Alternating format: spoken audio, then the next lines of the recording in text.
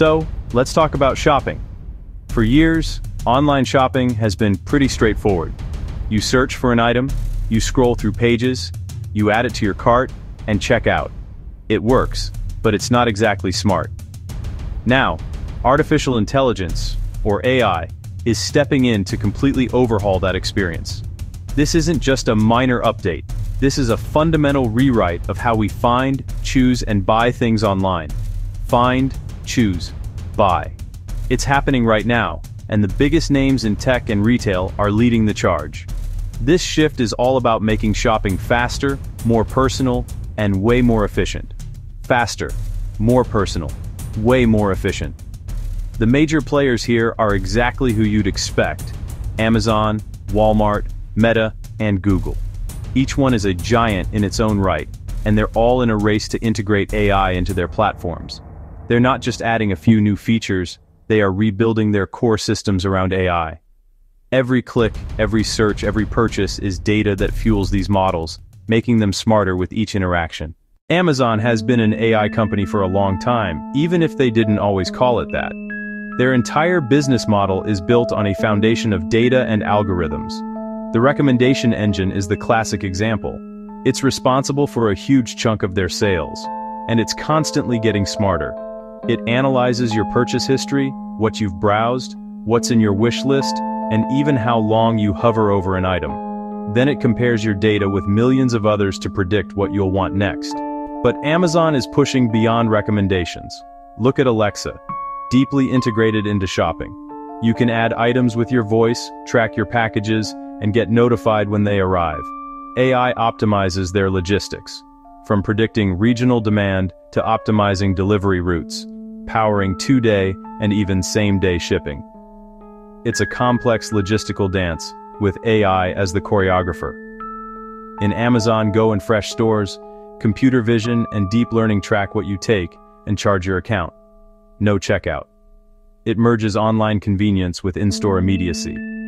Amazon uses AI to get you to the site, help you find what you want, make the purchase seamless, and deliver faster than anyone. Even customer service is AI augmented, with chatbots handling volume before human handoff. For Amazon, AI is the operating system, making shopping almost as easy as thinking about it. Walmart's approach to AI is a little different from Amazon's. As the world's largest brick-and-mortar retailer, the challenge is blending a massive physical footprint with a growing online presence. AI is the bridge between those two worlds. One of their biggest investments, supply chain and inventory management. They forecast demand with accuracy, keep shelves stocked, reduce waste, and prevent out-of-stock disappointments. Autonomous robots scan shelves for inventory, check pricing errors, and spot misplaced items, freeing employees to focus on customers. AI monitors checkout lanes and triggers new registers when lines get long, Online, Walmart is investing in its platform and recommendation engine. They're experimenting with conversational AI, text a list and get it organized for pickup or delivery. AI powers express delivery, optimizing routes for two-hour fulfillment. The goal is a seamless omni-channel experience. Same great journey on app, web, or in-store.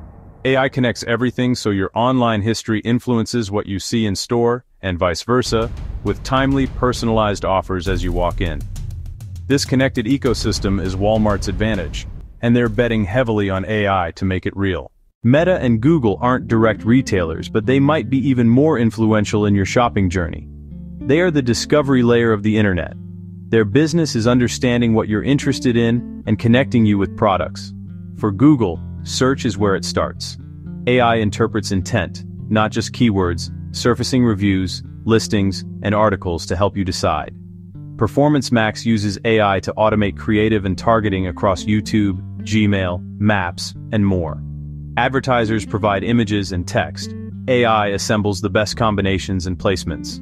For shoppers, ads are becoming hyper-relevant, less random, more aligned to recent searches and browsing. Meta has turned its platforms into social commerce engines. Discovery Commerce shows products you might love but weren't actively seeking, based on follows, likes, and videos you watch. When you tap Shop Now, you're engaging Meta's recommendation AI. Both Meta and Google now use generative AI so a small business can describe a product and instantly get multiple ad images and copy. That lowers barriers to entry, boosts competition, and surfaces a wider variety of products in creative ways. These platforms aren't just for friends anymore. They're AI-driven shopping malls personalized for you. So, what does this mean for the future of how we shop? The trend is clear. Shopping will become more conversational, more visual, and intensely personal. The static search bar is on its way out. In its place, AI shopping assistants. Say, find me a waterproof jacket for hiking in the Pacific Northwest next month under $200 and make it blue.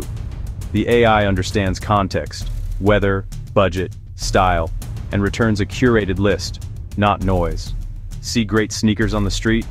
Snap a photo, and AI identifies brand and model with instant buying links. Tools like Google Lens are early versions getting faster and more accurate. AR lets you preview a sofa in your living room or try sunglasses on your face, right from your couch. That reduces returns and boosts confidence, removing major friction. Ultimately, AI removes friction and adds value. Shopping becomes less chore, more engaging experience.